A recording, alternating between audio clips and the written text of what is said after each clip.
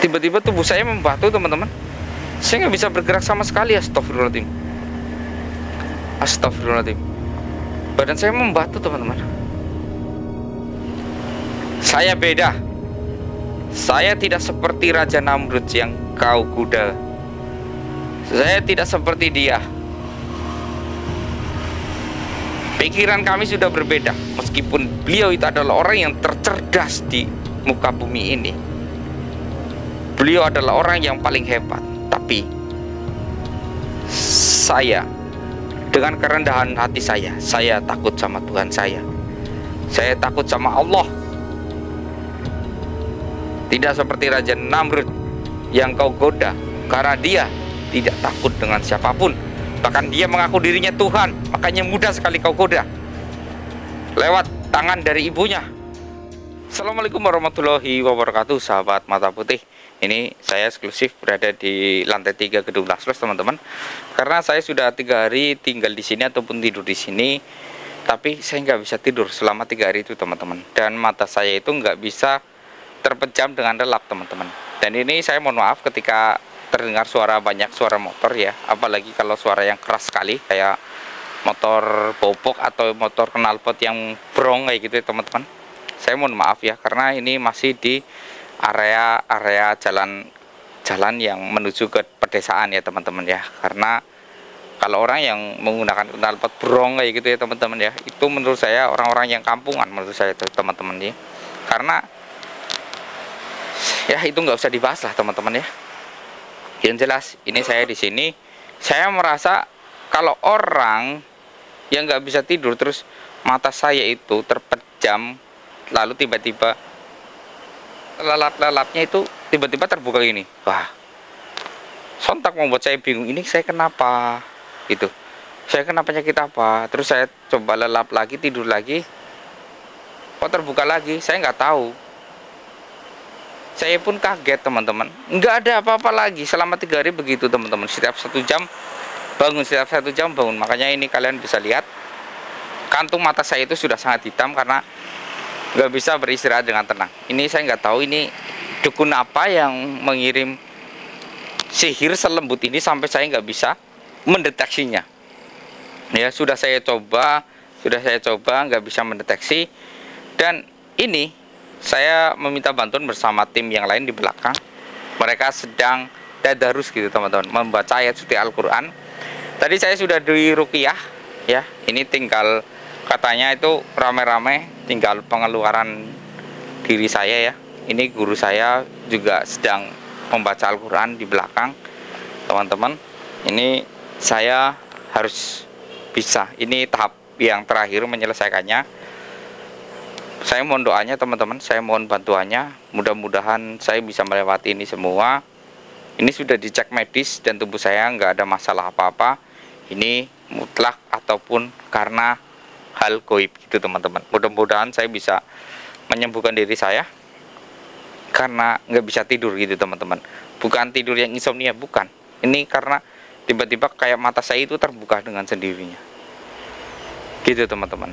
Hati-hati buat kalian yang suka tiba-tiba ketika tidur matanya terbuka tanpa sebab ya. Terus kalian kayak kebingungan kok saya tiba-tiba matanya terbuka ini? Kenapa? Ya kalian itu harus periksa kerohanian kalian ataupun perbanyak baca Al-Quran. Nah tadi kita sudah membaca Al-Quran. 30 juz ya teman-teman. 30 juz. Dibagi beberapa orang ya. Dan saya di tengah-tengah saya juga membaca. Dan kini saatnya saya melakukan pengeluaran ya teman-teman ya. Bismillahirrahmanirrahim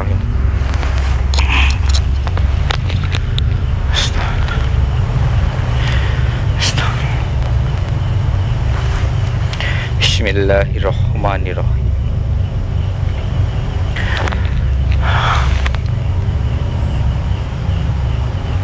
Bismillah.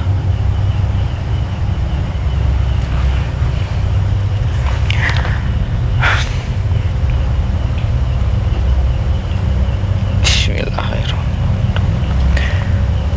Subhanallah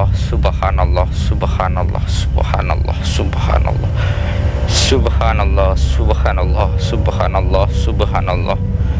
Subhanallah, subhanallah, subhanallah, subhanallah, subhanallah. Subhanallah, subhanallah, subhanallah, subhanallah. Subhanallah, subhanallah, subhanallah, subhanallah, subhanallah, subhanallah, subhanallah. Subhanallah, subhanallah, subhanallah, subhanallah. Subhanallah, subhanallah, subhanallah, subhanallah, subhanallah, subhanallah. Subhanallah. Allahu akbar, Allahu akbar, Allahu akbar, Allahu akbar. Allahu akbar, Allahu akbar, Allahu akbar, Allahu akbar, Allahu akbar,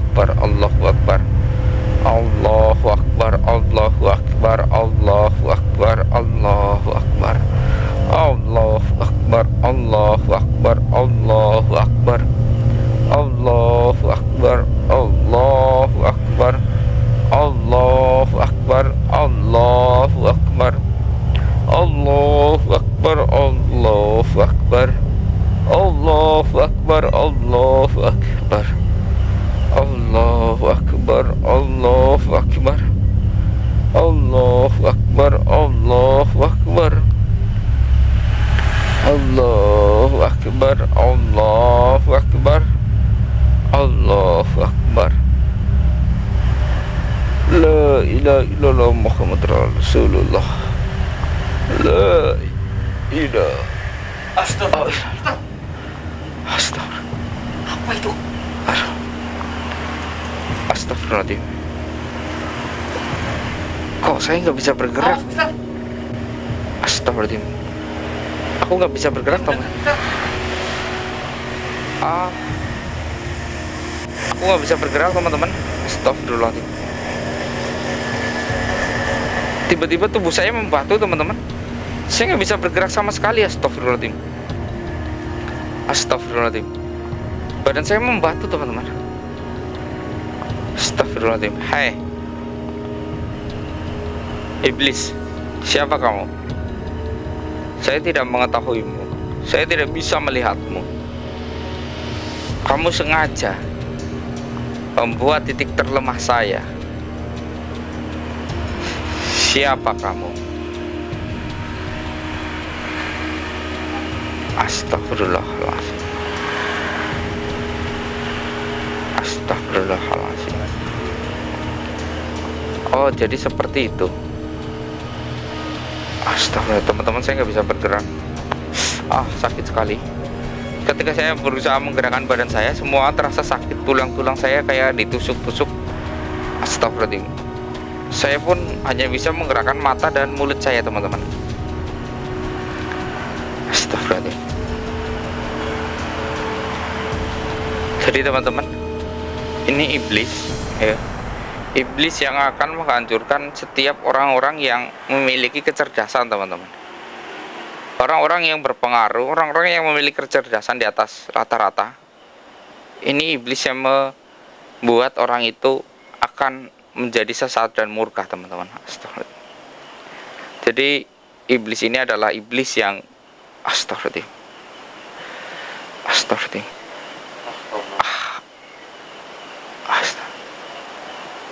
Astagfirullah. Dari mana kamu masuk? Dari mana? Astagfirullah.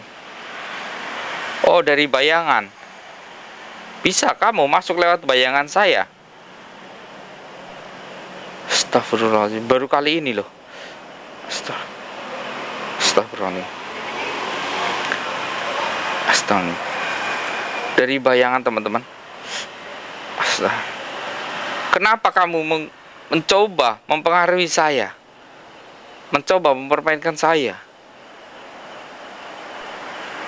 Oh, jadi kamu sedang mempermainkan mencari titik lemah saya, membuat saya itu energinya terkuras habis, dan kamu akan mengirim utusanmu seorang wanita untuk merusak saya.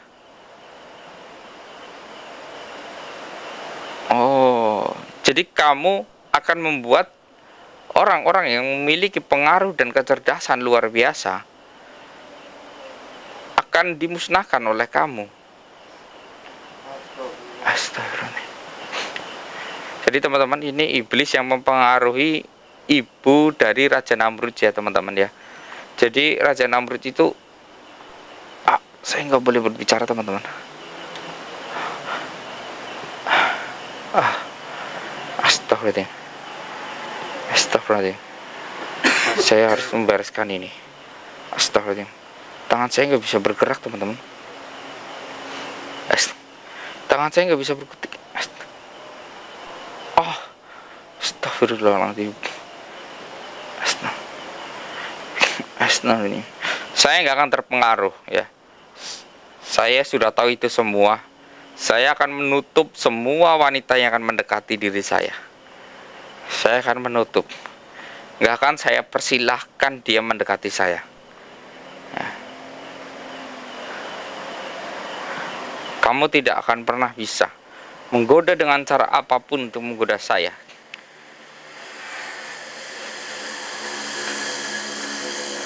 Pergi kamu dari dalam diriku. Atau saya akan gunakan semua energi. Kamu dengarkan di sana banyak orang-orang yang berzikir, membaca Al-Qur'an un- untuk melenyapkanmu. Astagfirullahaladzim. Astagfirullahaladzim. Astagfirullahaladzim. Saya beda. Saya tidak seperti Raja Namrud yang kau kuda. Saya tidak seperti dia. Pikiran kami sudah berbeda, meskipun beliau itu adalah orang yang tercerdas di muka bumi ini.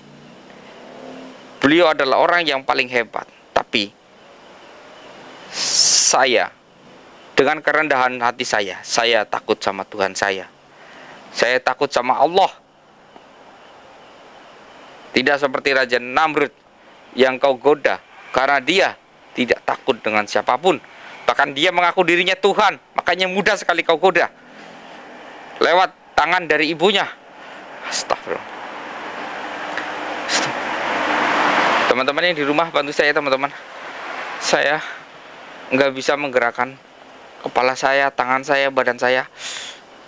Saya sudah berusaha sekuat mungkin, tapi serasa seperti batu teman-teman.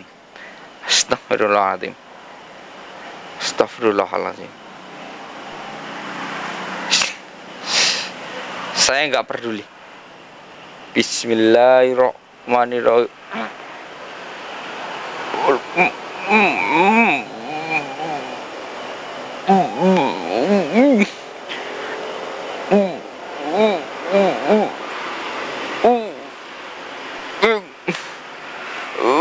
Sorry, Mister.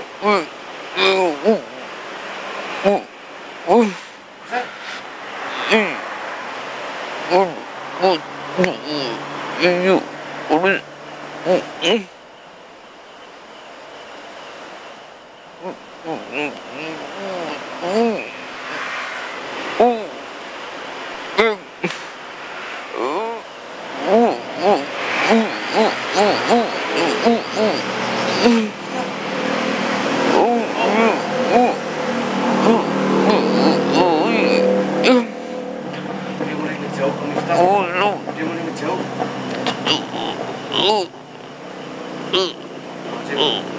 Bismillahirrahmanirrahim. Bismillahirrahmanirrahim. Bismillahirrahmanirrahim.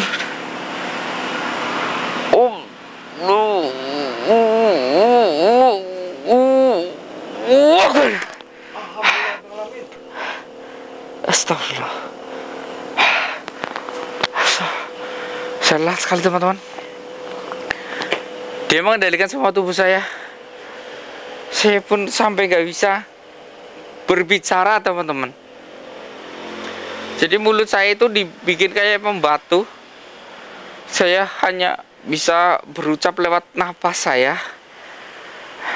Dia sengaja menghentikan supaya saya tidak bisa membaca ayat-ayat suci Al-Quran teman-teman Astagfirullah Astagfirullah ah. lelah sekali teman-teman Astagfirullah akhirnya tubuh saya mulai merasa ringan teman-teman maaf ya saya sambil duduk ya teman-teman ya Ah.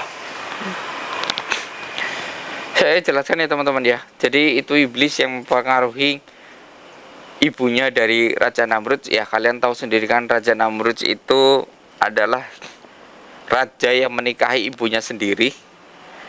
Karena apa? Ya karena ibunya itu dipengaruhi oleh iblis yang tadi. Saya nggak bisa melihat itu iblis apa teman-teman sama sekali ya saya hanya rasakan itu kepala saya disentuh-sentuh badan saya disentuh-sentuh gaya itu sentuhan untuk mengendalikan saya teman-teman supaya saya itu tidak bisa bergerak teman-teman Astagfirullahaladzim Astagfirullah jadi misi dia itu adalah untuk mematikan ataupun membunuh orang-orang yang memiliki pengaruh kecerdasan yang luar biasa. Kita bisa lihat sendiri Raja Namrud itu adalah raja yang sangat pintar, teman-teman. Dia adalah orang yang memiliki kecerdasan paling cerdas selama hidup di jagat maya muka bumi ini adalah dia adalah orang yang paling cerdas. Kenapa saya bilang gitu? Fir'aun aja masih kalah dia masih meniti ilmu dari Raja Namrud itu. Gedung pencakar langit pertama kali, menara yang dibuat itu adalah menara yang dibikin oleh Raja Namrud. Itu gedung pertama pencakar langit pertama kali dibuat. Ya. Yang kedua, Raja Namrud itu adalah orang yang memiliki pengetahuannya luar biasa. Dia yang menciptakan satu hari itu ada 24 jam. Dia juga yang menciptakan dalam satu jam ada 60 menit. Dia yang menciptakan satu detik, eh, maksudnya satu menit adalah 60 detik. Dia yang menciptakan itu teman-teman.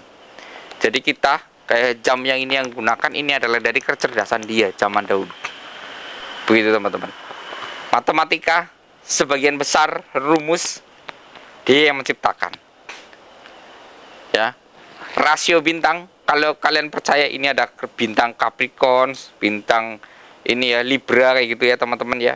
Ramalan bintang dia yang menciptakan pertama kali. Tujuannya apa? Dia menciptakan ramalan bintang kepada setiap orang karena dia mengaku dirinya itu adalah Tuhan.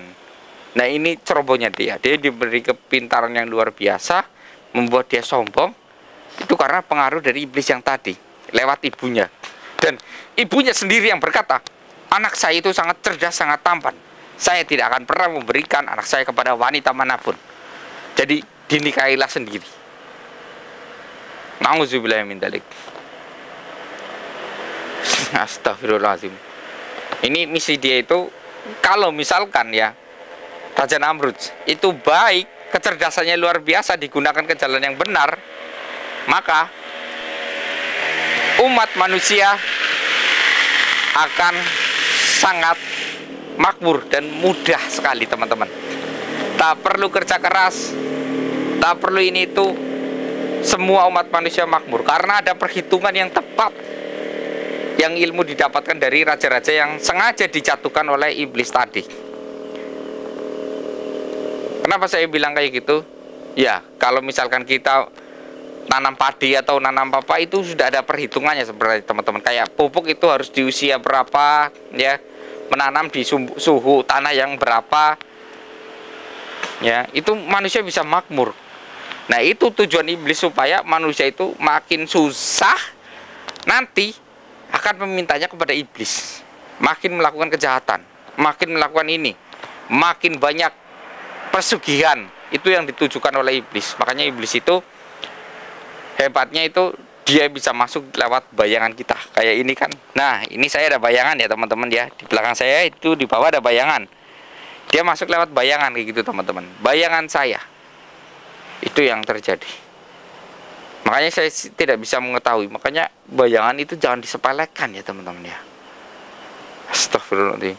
Saya sekarang justru jadi tahu. Kalau kita punya bayangan mendekat dengan orang-orang yang sakti itu harus hati-hati. Astagfirullah. Astagfirullah. Dan ini saya sudah dapat satu clue bahwa bentar lagi ada seorang wanita yang akan menggoda saya. Saya pun nggak tahu itu wanita apa. Maka saya harus hindari. Jaga jarak benar-benar benar-benar harus dibatasi ya. Supaya saya, saya tidak terpengaruh. Karena dia itu akan mempengaruhi or, lewat orang-orang terdekat untuk menjerumuskan ataupun membawa pengaruh buruk kepada orang-orang yang cerdas. Seperti itu supaya tidak ada kemakmuran di dunia ini.